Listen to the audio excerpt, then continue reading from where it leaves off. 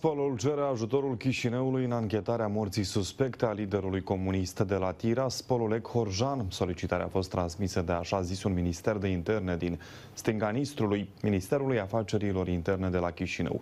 Mai exact, Tiraspolul solicită o serie de măsuri urgente operaționale și de investigare pentru a identifica și localiza suspecții în săvârșirea omorului.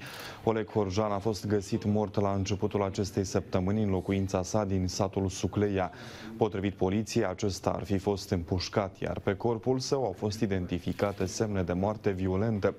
În urma incidentului, Biroul Politici de Reintegrare a propus crearea unei comisii de anchetă neutre cu implicarea misiunii OSCE în Republica Moldova. Săptămâna viitoare, în Parlamentul de la Chișinău vor avea loc audieri în acest caz.